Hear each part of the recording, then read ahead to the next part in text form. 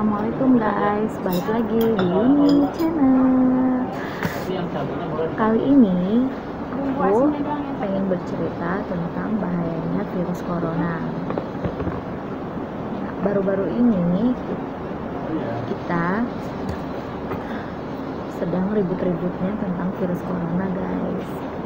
Apa sih virus corona itu? Ya, virus corona atau biasa Nama latinnya 2019 novel coronavirus adalah virus yang menyerang sistem pernafasan fenomenia akut sampai kematian loh guys. Gimana coba seremnya virus ini? Virus corona adalah virus jenis baru di mana virus ini menyerang secara global. Dan virus ini pertama kali adanya di Wuhan, Cina. Virus ini adalah virus yang berasal dari hewan yang ditularkan ke manusia. Virus ini gejala-gejalanya loh guys yaitu adalah flu, terus batuk, tenggorokannya sakit, demam, itu bisa terjadi atau bisa terkena dengan virus corona juga. Sebenarnya virus ini yang terpenting adalah kita menjaga kesehatan, yaitu sebelum makan kita mencuci tangan dulu, sebelum minum atau kita mau makan kita harus menjaga kebersihan, kebersihan tubuh kita juga dan jangan lupa sekarang kita harus selalu menggunakan masker. Karena virus corona ini kita bisa tertular lewat air liur si penderita.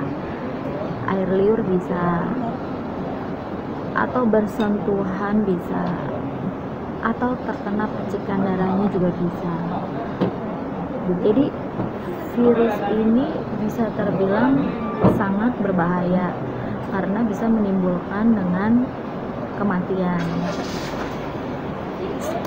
Jadi bagi kalian guys hati-hati dan sangat berwaspada. Karena kita juga nggak mau kan kita sakit menimbulkan kematian. Dan menurut penelitian gejala infeksi virus corona ini muncul sampai dua hari muncul dari dua hari sampai dua minggu setelah paparan virus corona. Dan virus corona ini guys yaitu tidak akan berbahaya jika kekebalan tubuh kita itu bagus. Jadi tergantung dari kekebalan tubuh kita ya guys. Dan lebih seremnya ini virus corona belum ada vaksinnya atau belum ada obat penyembuhannya jadi dokter hanya meredakan saja penyakitnya yaitu memberikan obat pereda demam agar demamnya turun dan memberikan obat nyeri radang. Ya seperti sakit tenggorokan itu kan seperti mirip-mirip radang dan penderita dianjurkan istirahat yang cukup, mandi air hangat, dan menjaga kebersihan tubuhnya sendiri guys. Dan selama ini virus corona ini virus corona ini sudah memakan ribuan nyawa.